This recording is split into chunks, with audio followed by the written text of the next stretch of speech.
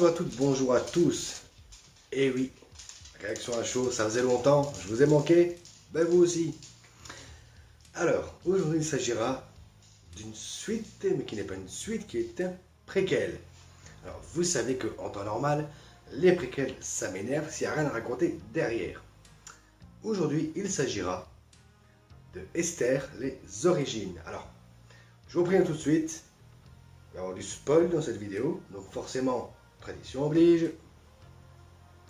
Ouais, parce que je vais spoil forcément le premier film. Je vais essayer de ne pas spoil celui-là, mais forcément le premier film, je vais devoir le spoil un petit peu. Voilà, si je veux pouvoir parler de celui-là, il va falloir que je, parle, que je spoil le premier. Alors, remettre dans le contexte. Déjà, cette suite qui est réalisé par William Brent Bell, qui nous a fait Stay Alive, qui était plutôt pas mal, et The Boy la malédiction, que je n'ai pas vu. Mais après avoir vu sa, sa sur Esther, j'ai envie de découvrir ce The Boy. Je ne sais pas si c'est bien ou pas. Vous me direz ça en commentaire. On retrouve toujours Isabelle Furman qui reprend ce rôle de Esther.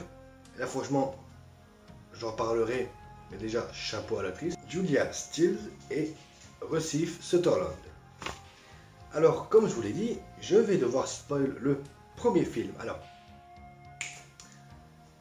qu'est-ce qui s'est passé dans Esther, qui est sorti en 2009 eh bien, une famille va adopter une petite fille qui s'appelle Esther.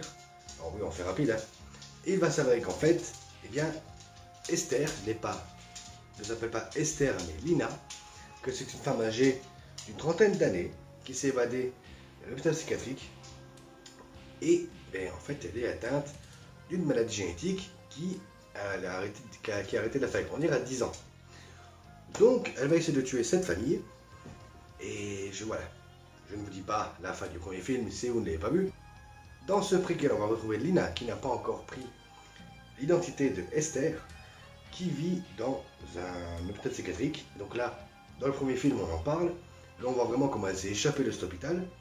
Et on va également comprendre comment elle s'est fait, euh, pas adopter, mais plutôt, eh bien, comment elle est rentrée chez elle. Alors, je vais, je vais, je vais pas spoiler le film, pas vraiment, mais en gros, la vraie Esther s'est fait kidnapper, peut-être, et depuis 4 ans, donc Lina va prendre sa identité pour, se, pour aller en Amérique dans cette famille. Alors, il y a une révélation euh, qui arrive. Alors c'est pas, ça n'a rien à voir avec Lina. On sait déjà que ce n'est pas Esther. On sait déjà que c'est une femme d'une trentaine d'années qui s'est passée pour une petite fille. Il y a une révélation qui va arriver euh, en plein milieu du film. Alors je vous le dis direct, dès le départ, j'avais compris le truc. J'ai compris le twist. Et je me disais, ok, je me suis caché le film tout seul. Parce que, ben voilà, il y a des indices, des images qui arrivent. Et puis, ben voilà, je me suis dit non, non, c'est bon. J'avais envie de couper le film parce que je me suis dit c'est bon, si j'ai trouvé le truc dès le départ, c'est pas bon. Sauf que ben, j'ai attendu, j'ai regardé et en fait, non. Le film m'a eu et en fait, eh bien, Esther va se faire prendre par les couilles, excusez-moi du terme. Elle va, se faire prendre par les couilles et limite tenir en otage.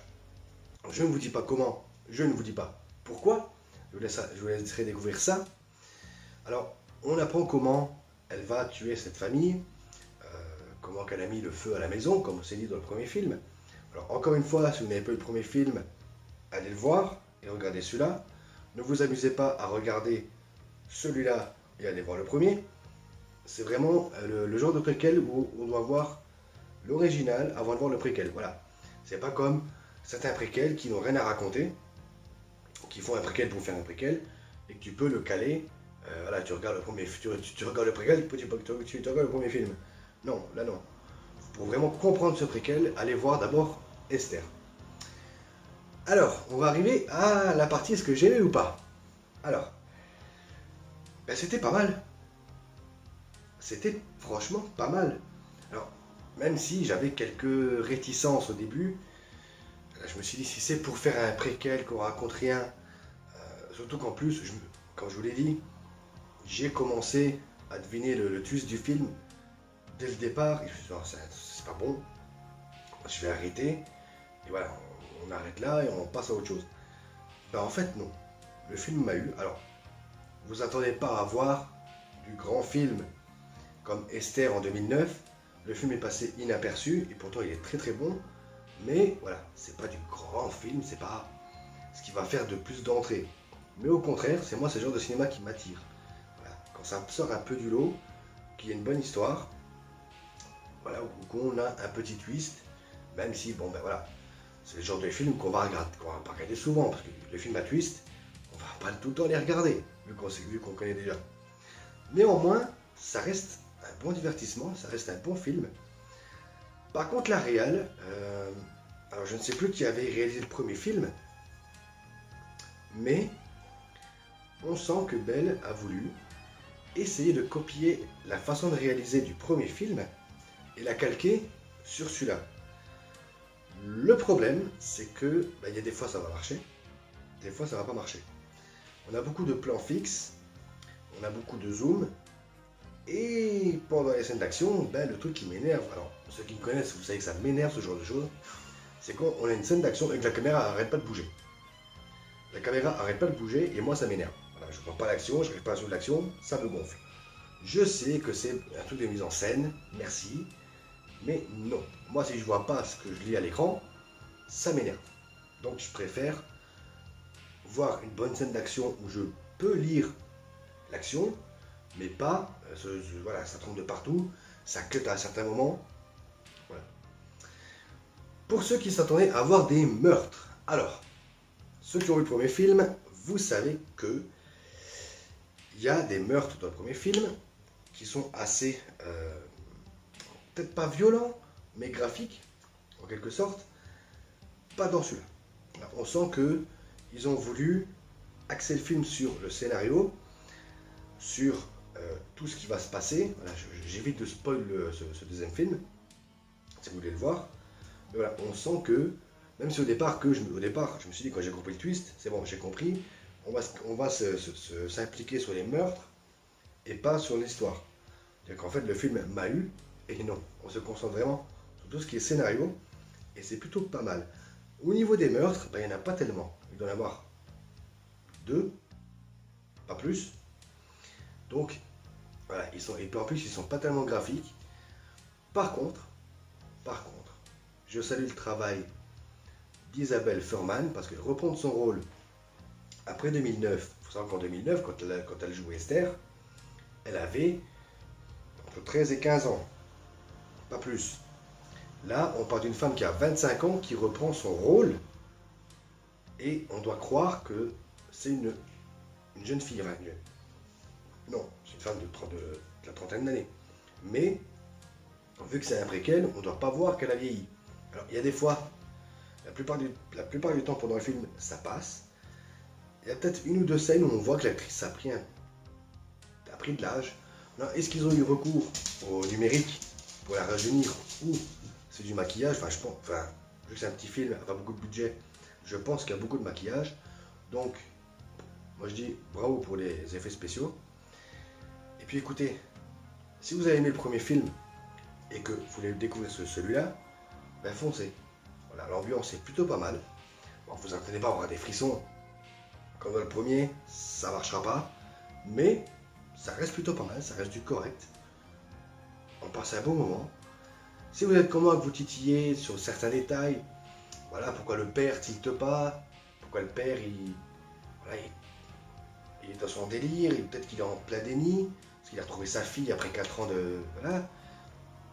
Voilà, mais moi, c'est des petits détails comme ça qui, qui m'ont chiffonné. C'est voilà, le père, il tilte pas que c'est pas sa fille.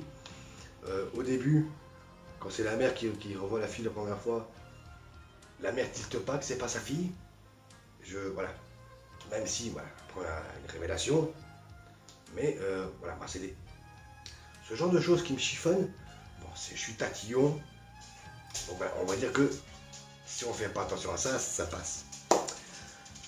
Alors, oui, je vous conseille ce Esther des origines, c'est plutôt pas mal. Donc pour que moi je conseille un préquel, c'est que c'est vraiment pas mal.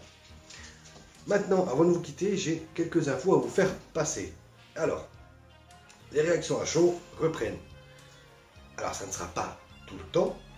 Voilà, parce que j'ai une vie, j'ai un boulot, et je ne veux pas m'enfermer dans YouTube. Voilà. J'ai une vie privée, j'ai du boulot. YouTube pour moi c'est un moyen de m'exprimer, c'est un moyen de passer le temps, c'est un amusement. Ensuite, les lives, euh, on les refera sur la chaîne YouTube et pas sur Twitch. Voilà, euh, gérer deux chaînes, c'est compliqué. J'ai pas le temps pour ça. Donc, voilà. Donc sur la chaîne YouTube, vous aurez de la musique, des réactions à chaud, des critiques ciné, et également des live gaming. Live gaming, ne me demandez pas quand, je ne sais pas. Ça sera le week-end forcément, mais quand, à quelle date, je ne sais pas, suivant mes envies et mes humeurs. Les réactions à chaud, on va, allez, je vais essayer d'en faire deux par semaine, voire voilà, maximum deux par semaine. Si j'en fais plus, on aura plus, mais on va se caler pour, pour l'instant. Deux par semaine, c'est déjà pas mal. Quant à moi, je suis content de vous retrouver. On est reparti. Et puis, euh, comme d'habitude, prenez soin de vous, continuez des films, à jouer aux jeux vidéo. Ciao